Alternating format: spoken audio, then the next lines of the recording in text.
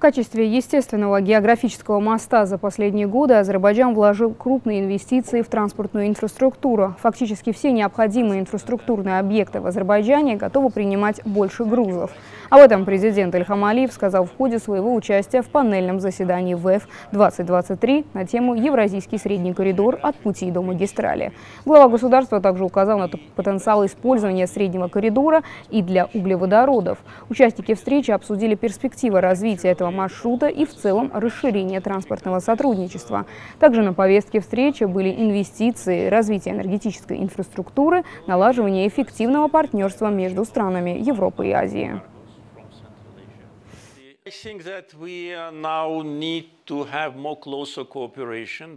Я считаю, что сейчас нам необходимо более тесное сотрудничество между всеми вовлеченными странами в Центральной Азии, на Кавказе и в Европе для активной работы над таможенным администрированием достижения подхода единого окна и по тарифной политике, поскольку нам нужно добиться привлекательности этого маршрута не только в силу отсутствия других маршрутов, но и с коммерческой точки зрения absence of other routes, but attractive from a commercial point of view.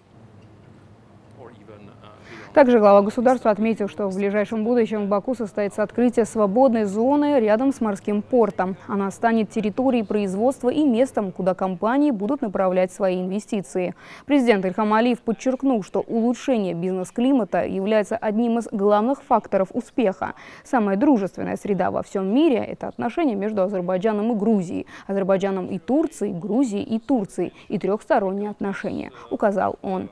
На панельном заседании глава азербайджанского государства отметил, что превращение в транзитную страну есть в плане нынешних реалий. Однако для правительства Азербайджана более важным является создание рабочих мест и местного производства. Поэтому проводится очень много работы по диверсификации экономики.